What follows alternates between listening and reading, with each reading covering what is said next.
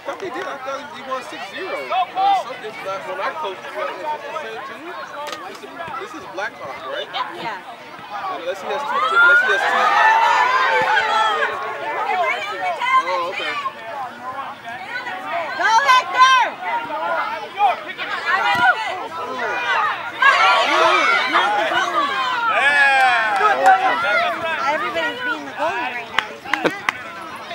Nobody gonna stop that.